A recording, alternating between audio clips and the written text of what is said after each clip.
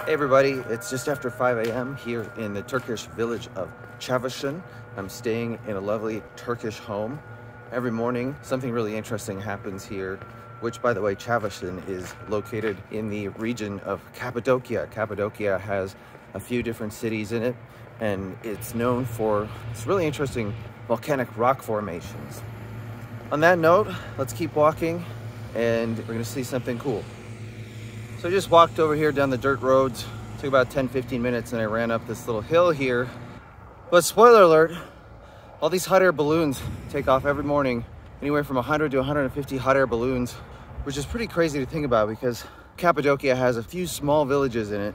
The main tourist town here is Göreme. Göreme has a local population of under 2,000 and every night it has about, let's say six, seven, 8,000 tourists living there. And then every morning you have these balloons. Let's say there's 100 balloons with 20 people in each basket. Well, that'd be 2,000 people flying in the sky every morning. So in case you couldn't tell, tourism is huge business here. I've been staying here in Cappadocia for five days. I'm leaving after a week. I've been staying in a lovely Turkish home in a nice little Turkish village. So it's been a very interesting and authentic experience. The home has adobe roof, brick and plaster walls, very thick. It's nothing too fancy, but it's nice. The host has been great, very hospitable. If I was going to do it again in more of a tourist fashion, I would probably recommend three to four days here in Cappadocia. Maybe do the balloon ride. You can rent ATVs, you can ride a horse on a trail, you can go on a camel safari, as they call it. And of course, there's lots of trails around here. I was on one yesterday hiking through some of the mountains here. This whole area kind of reminds me a little bit of Arizona. The city of Göreme kind of reminds me of Sedona, Arizona. The way that the nature and the city are kind of intermixed together. By the way, I mentioned this in some of my other videos. About two years ago, the country of Turkey uh, sent a message to everyone else and said, we're not Turkey, we're Turkiye. So this is a note to myself, get it right, it's Turkiye. It's now 15 minutes to six o'clock. Of course, the sun's coming up. Hasn't risen yet though. And just a quick count as I look around here, I see about 55 or 56 balloons either in the air or about to take off. I'm sure there's some more behind this rock behind me that I can't see, but maybe for today it's gonna be 60 or 70 balloons. Even on a conservative number of 15 people per balloon, times 70, that'd be over a thousand people in the air, which is pretty crazy. And like I said, they do that every morning, so that gives you an idea of the amount of tourists that come here. It really is quite the amazing sight. A lot of people show up, even just like me, to see it from the ground. Online, I want to say that I've seen tickets cost about $260, $270.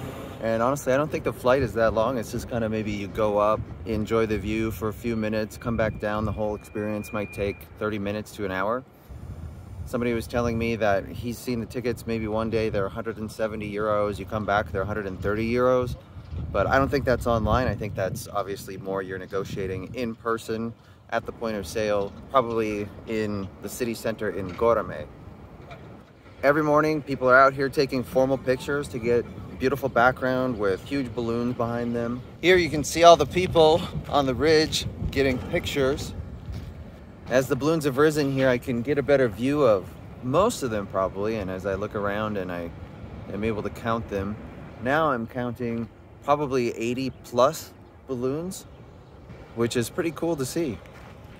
As the balloons are overhead in the sky here, I'm gonna walk down this hill. I'm gonna go back to Çavuşin and there's some really interesting cave ruins, I guess you could call them, that we're gonna check out.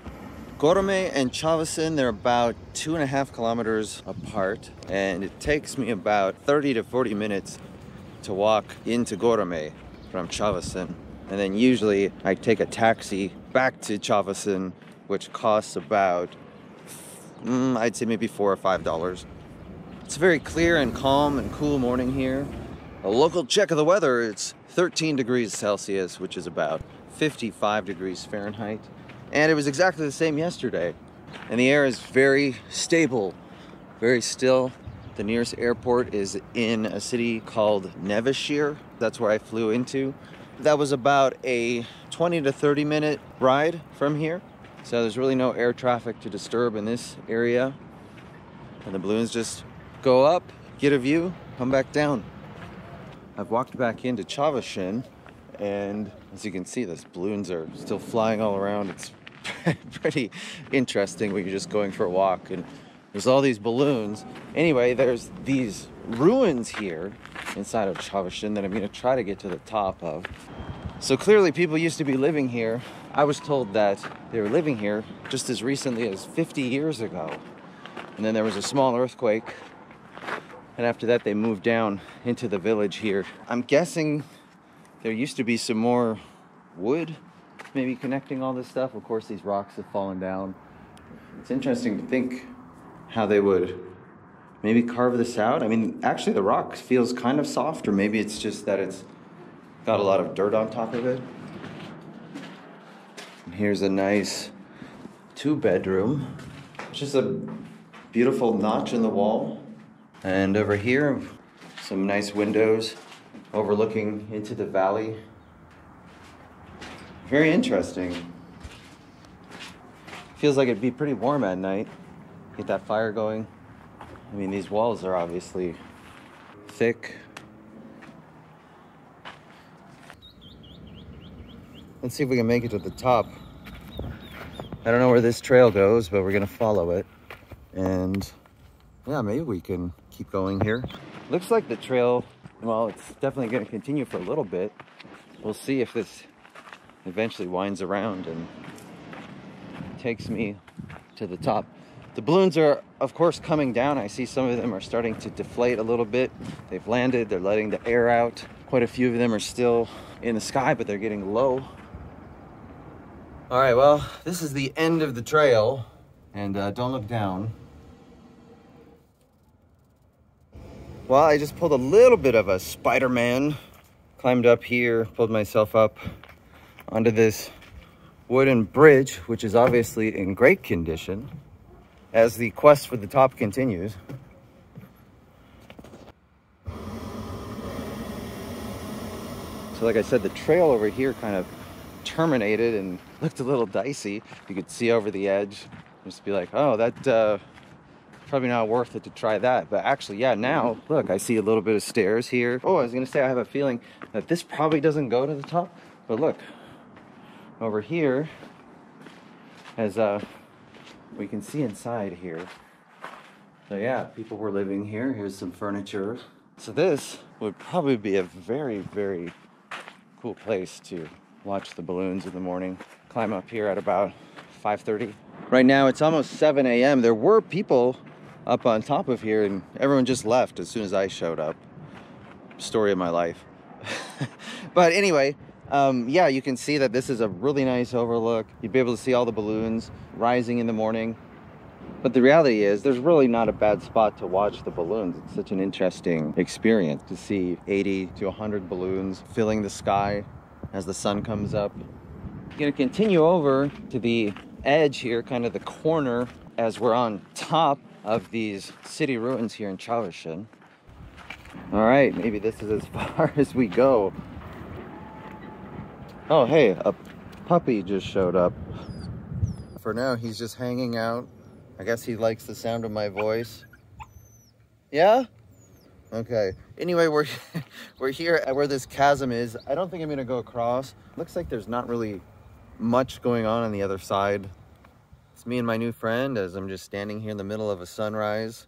Literally, I was right here in the shadow a minute ago and the sun's come up over these mountains or this range behind me and now I didn't move, but I'm in the light. I guess that's how it works. So it looks like maybe the best way to get up here is on the north side. There's a trail that comes between these houses and then it comes up here and then it kind of double backs on itself and then you're on top. It's probably about a 10 minute walk. Let's do it. We're gonna take the puppy with us down to town where he can have some friends. I think he's lonely. Are you lonely? Huh? Mm. Yeah, I know, buddy. Let's go. It's you and me now. Professor Chocolate. I think that's his name. Let's go, Professor Chocolate. Back down into Çavuşin. Like I said, this is this is not a bad hike at all. You can just come up the backside of the hill here.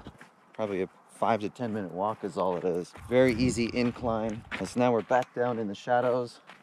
These rocks with the boulders. Right behind us is a background.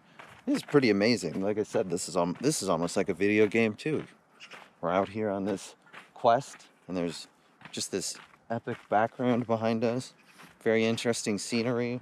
We just found a new partner, Professor Chocolate. Yeah, see, I told you that's his name.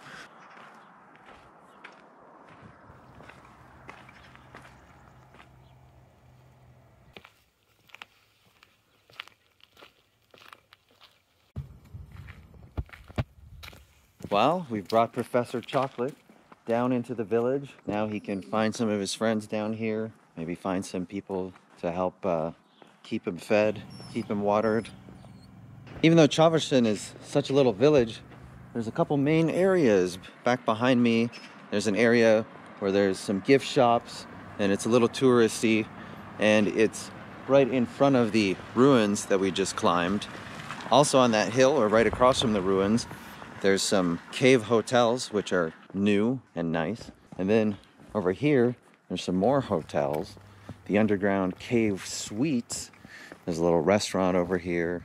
So despite the fact that this is a tiny village, you can still stay here, be catered to, kind of have everything you need. Go on the balloon ride. Maybe you'll see Professor Chocolateson someday if you come here. And then just down the street from those ruins where we were at, in kind of that tourist part of town as uh, Professor Chocolate or maybe Professor Chocolates. And I think he said he prefers to be called Professor Chocolates and is, uh, is still being a good sidekick on our journey. So just down the street, probably about a 10 to 15 minute walk, is Çavuşin Church. We're gonna go check that out. It's similar to the other ruins that we saw. All right, we got a new friend here. Right across from Çavuşin Church is the airport transfer shuttle station. This is where I got dropped off. So when I was in Nevşehir, like I said, that's about a 20 to 30 minute shuttle ride. We did it. I think we did it. Professor Chocolateson, or maybe it was Professor Çavuşin, reunited with his or her mom. The puppy saw the bigger dog over there and kind of ran over there. Now they're playing together. On second thought, I don't think it's Professor Çavuşin's mom, but I'm just starting to acquire a pack of dogs as I'm walking around the side of the church. At least this big one has a tag in the ear. That's a good sign, actually. Normally, the dogs that I see here are just total strays and they're not in great shape. This is the first one I've seen with a tag in the ear. As we're continuing around to the north side of Çavuşin Church here, and more of these rock formations these ones have the rocks being balanced on top of these peaks, which is very strange to see. Supposedly, this whole area of Cappadocia was under the sea 60 million years ago. And then you have this volcanic activity on the sea floor. Obviously now it's no longer a sea and somehow we have these rocks on top of these little peaks.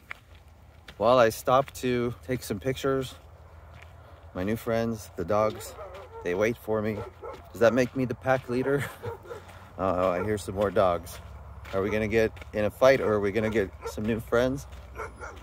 Looks like maybe on this north side, we can take this trail and go on top and then have another view of Cappadocia. This is where we were earlier. Over there in the background is Göreme.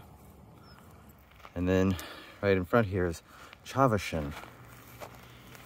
Here's the view from on top of this peak, which is kind of behind Çavuşin Church. I'm not sure if the church building is separate from this, if it's just in front by the road and this, this is just more ruins. I'm not sure how it's all tied together at this point. Let's head back around to the front of the church, see if it's open. My map said this place is temporarily closed. We'll see if there's any way to go inside or maybe it'll open a little bit later. Just all the amount of all the carving in the rock. It's like I'm just continuing to walk and oh, here's some. Oh, here's some more. Here's some more. Pretty incredible as we are going for a walk this morning in Cappadocia. Well, that's where we just were. We hiked around this side to the north and got on top there, as you can see. It's basically just a straight up cliff. There's a guy out front here sitting in the chair and he just told me in Turkish, and then we had to use the translate app, but he told me that the church, I think, has been closed for five years for restoration. And then down below here is a ceramic shop, which will open at 9 a.m. Right now, it's about 10 minutes after 8 a.m. No matter what I do, he keeps following me around here. Well, I made it back to the village center here in Çavuşin. And Professor Çavuşin, my trusty sidekick, has gotten engaged with some other activity and he's run off to live his best life, which is good because I was going to say, I don't think I can just stay here and take care of this dog and be the pack leader. as always, I'd love to hear from you in the comments below. What'd you think of today's video? And thanks again for watching, or as they say here, teşekkürler. Until next time, from Turkey, see you soon.